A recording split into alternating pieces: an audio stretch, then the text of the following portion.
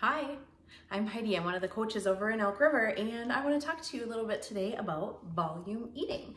Now, I am not as tech savvy as some of the other coaches, so my I won't have a PowerPoint. This is my version of a PowerPoint. The reason I wanted to talk about volume eating is because over the, my check-ins for the uh, midpoint check-ins, there's a lot of people that started talking about still feeling hungry. So even though they were eating their amount of allotted calories for the day, they were still feeling hungry um, throughout the day. Now, if you're eating in a deficit, there's a good chance you're gonna feel hungry and eventually, you know, you kind of get used to that. But if you are eating a lot of really calorie dense foods, you're not gonna fill up as fast and then you'll have a little bit harder of a time feeling satiated or full. So volume eating is basically eating a lot of low calorie, high volume foods. The purpose of it is to like fill up your tummy. Hard. All right, who? Who can benefit from volume eating? Well, truthfully, anybody can, but people who are eating in a deficit or trying to lose weight if they're eating in a calorie deficit, and those who are still feeling hungry after eating within their calorie budget. Now, focusing on fruits and vegetables is important for everybody in their diets um, based on trying to live a healthy lifestyle and getting all those essential nutrients that you need out of your food anyway. Why? Why should we eat that way? You feel fuller longer. It can help you manage your calories. Also, guilt-free larger portions. I do not like vegetables and I'm working really hard over this challenge to make sure that I get some kind of a vegetable in every day. Sounds very childish. I have the palate of a five-year-old, but I'm learning that salads aren't so bad and I'm feeling so full right now. We're gonna stop focusing on what good foods are and what bad foods are though, because food isn't inherently good or bad. It is either more uh, calorie dense or nutrient dense. And what I wanna focus on today are the snacks that we have, not necessarily the meals. So if we're looking for some nutrient dense or uh, high volume foods for snacks, we will look at some ideas. Here we go.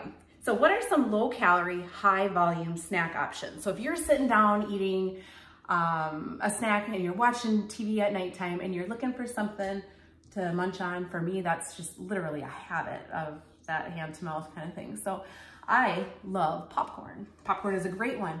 Oats are full, cucumbers, melons, citrus fruits, egg whites, some fish. I mean, that's more of a meal. I'm not sure how many people are munching on fish, but uh, cottage cheese and also legumes. So like the beans and stuff like that, those are all low calorie foods that you can eat a lot of and feel full, like fill up, fill up that belly.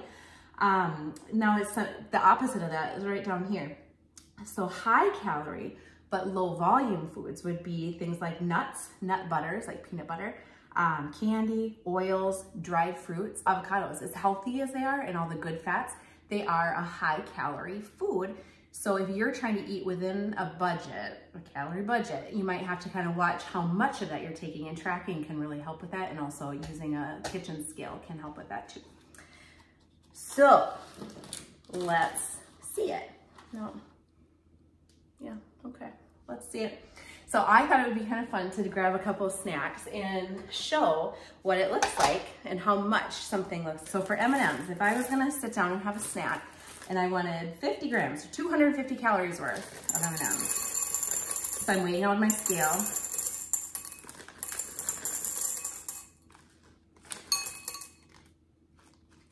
One more, yeah. There, that's 50. So it doesn't look like too much. Like I could probably fit them all in my hand. I mean, I dropped a couple, but you get the idea. So when you're finished with these M&Ms, it's probably gonna leave you wanting more. You're not necessarily gonna feel full, so it might not be the greatest option. Another idea would be a nut mix or a snack, snack mix. Um, nuts are really good for you. They got a lot of healthy fats in them um, and they're not bad to eat. However, if you're eating in a calorie deficit, it's going to be hard to feel full if you're eating just nuts. So I'm going to open up this little pack. This is a 200 calorie pack. So it's only 200 calories. Okay, and this is what we're gonna get, okay? For 200 calories, 43 grams, you're gonna get about this much. You're not gonna feel too full. Again, it's like just in this little pack. It's not a lot.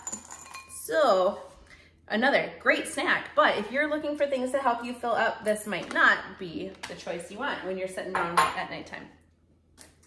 Here's one of my favorite snacks, popcorn. So for 250 calories, which is 50 grams of popcorn, this is what we have. That's 28 grams, so we'll just keep going. 38. Um, so this is not even, okay, that's 45. And now I'm just making a mess. And I just cleaned my kitchen for you guys. So if we're piling all this onto the scale, okay, all of this. You could eat all of this. Last one, let's talk about cucumbers. So if you love your vegetables and you don't have a palate of a five-year-old and you love eating cucumbers, I wanna show you something. 225 calories is 1,500 grams of cucumbers. So start setting them on. This is 230. I had to go to the store and buy all these cucumbers. Let's go. We're at 500, 700. Okay, for real.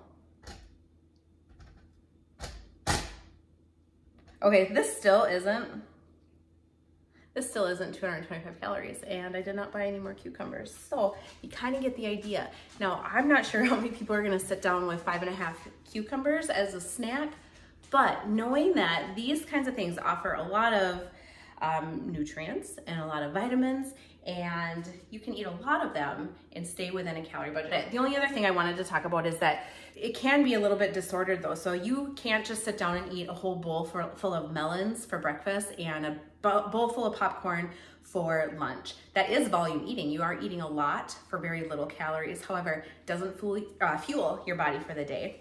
So you should focus on a well-balanced diet, focus on how you feel, because if you're eliminating entire groups of food, you're uh, probably not gonna feel very great either. So I hope that this makes a little bit of sense. We will end it right here. Have a great day.